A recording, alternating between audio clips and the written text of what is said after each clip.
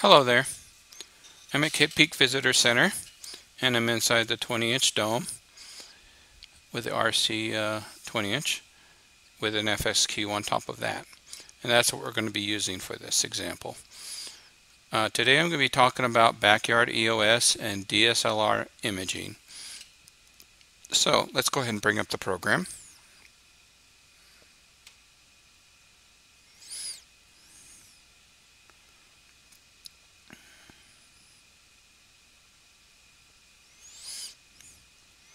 Okay. Um, this is actually how it starts up.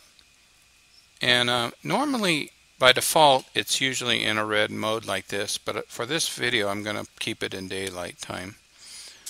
Uh, the first thing I want to talk about is the settings.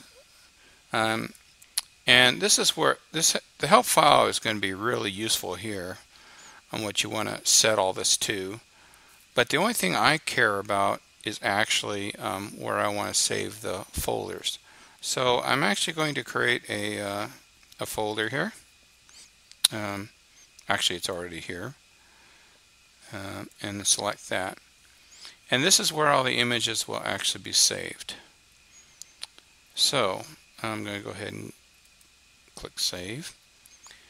Now, when you connect the camera for the first time, Backyard EOS will ask you what kind of Canon camera is it. Is it a 20DA? Is it a 60DA?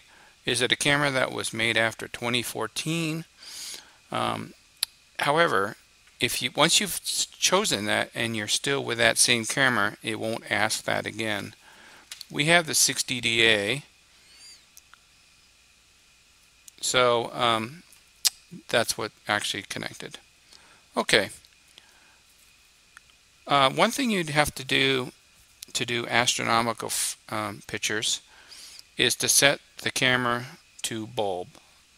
That's one thing you'd have to manually do on the camera.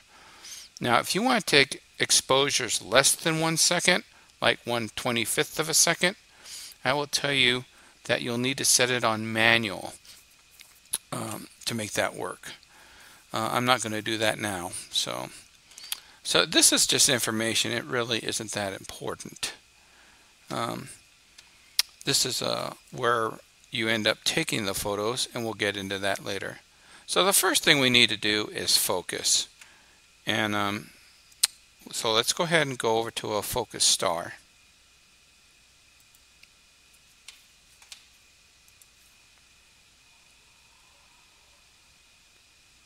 And I've actually focused everything just to speed up the tutorial a little bit. Okay, when you click frame and focus, it will actually uh, bring a live image of what it's doing right now. And this box here is where we are actually framed. Now you can see there's a star here and there's one here. If I wanted to move this box around, all I do is double click and then I can actually move it anywhere I want.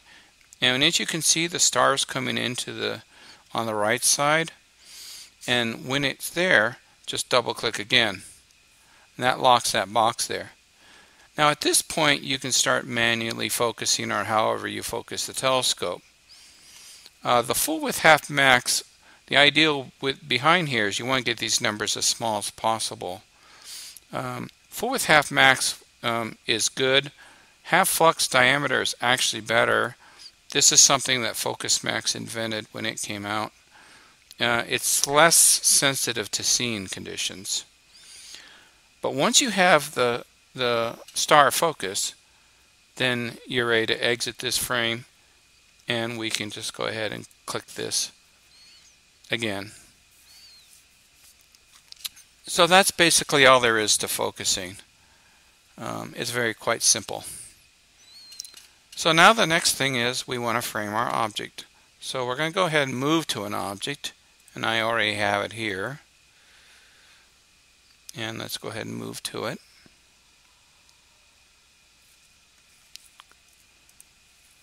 Okay, um, what you want to do is you want to set the ISO really high, as high as you can, because we, we just want to do a preview here. We want to see what, what's in there. Oh, let me get into here real quick. Um, these are actual settings and the one that's really important here, here you can actually take light frames, you could take dark frames, flat field, bias, just like a regular CCD camera. I mean, a digital camera really is a CCD, it just uses a CMOS. But here's what's important. You determine where you want to save it. Do you want to save it to the camera? Do you want to save it to the computer? Um, I always use the computer. That's just me. Okay, so I'm going to have the setting on bulb, and you can see there's other settings here. Um, and this is the number of exposures. And we're going to do a preview over here. In, in other words, it's not going to save anything to the computer. It's just going to take a picture and preview it. And um, one second was a little short, so we need to fix that. Well, we'll see a one second exposure, which won't tell us much really.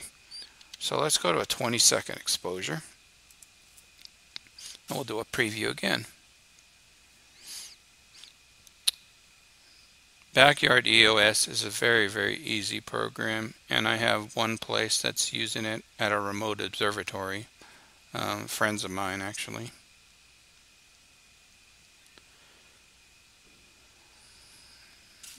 Okay, so our exposure is almost done. And here we can see the Veil Nebula.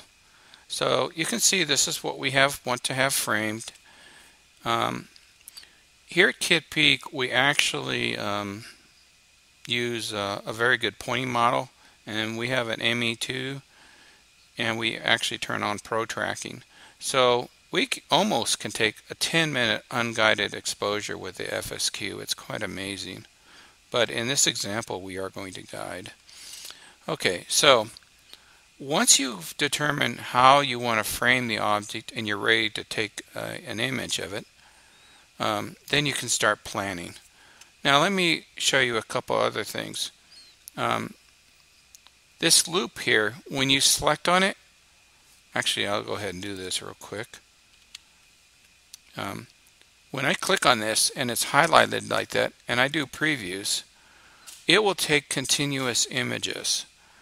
Now I guess the advantage of this is for framing purposes it's because every time it takes a new image you can you can see and update it. Now when you're done you just click abort and it will abort it.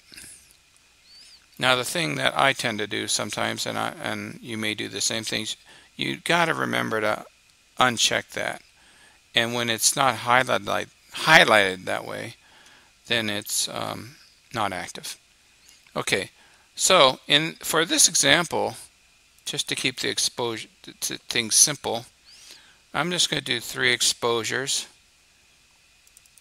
and they're just going to be um, 20 seconds each. And we're going to keep the ISO at 6400. But when you go, when in the real world, when you're really wanting to capture, you want to use a lower one. Uh, 800 is good uh, for the Canon 60DA. I have a Canon 7D Mark II, and I have more choices here. Um, so, but we'll, but for this tutorial, we're just going to leave it here so you can see the object. You'll notice that it's showing you frames down here that we've taken. So, okay, now um, what I'm going to go ahead and do is be, this this set capture here is going to actually capture the series. This is a plan, by the way. So just to let you know.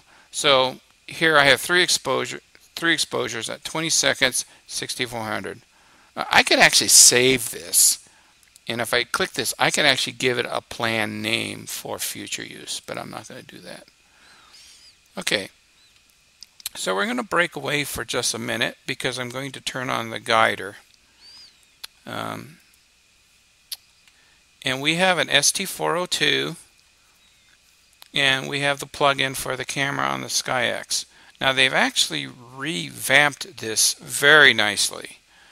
Um, this is excellent uh, modification uh, since it was a July 29th release. Okay, so um, basically I'll go ahead and connect the camera. and it's connected. And um, I'll, I'll go into the focus tools and to focus on the guide star I'm going to set it for two seconds auto dark take continuously um, so I'll go ahead and click that and here you can see a star and again here at this point you would want to actually focus your guide star but I kind of did that in advance to save some time. So I'm going to abort this now and we're ready to use the auto guide feature. Now as you can see this has been redesigned very nicely. So the first thing you'll do is take an exposure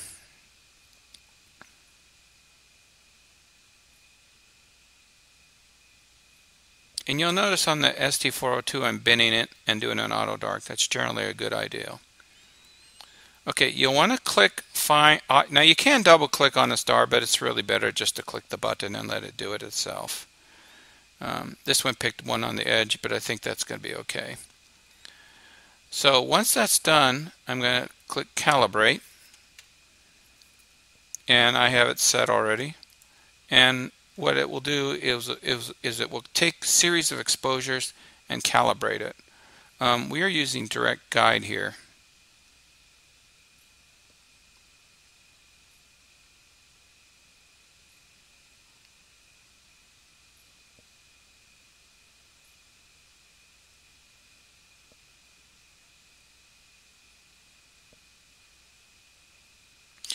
And once it's calibrated, you'll get this little graph that is actually pretty good here.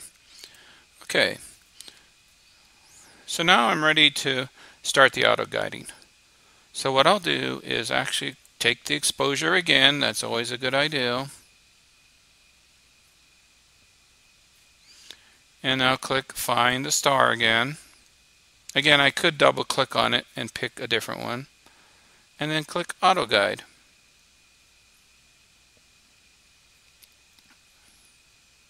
Okay, so here's our guide star.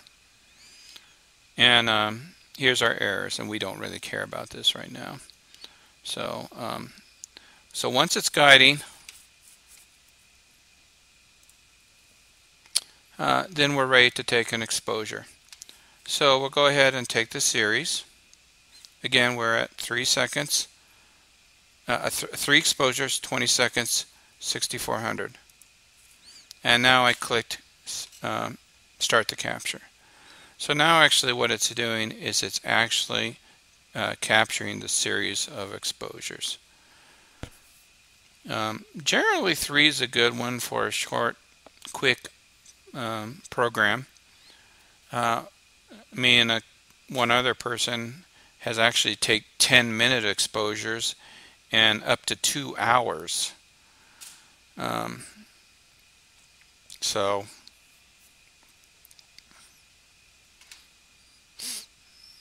And here's our first exposure.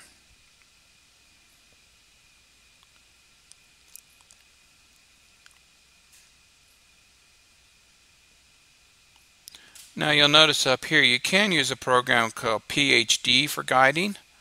So it does support that. That's a free program I believe. And you can see the histogram over here.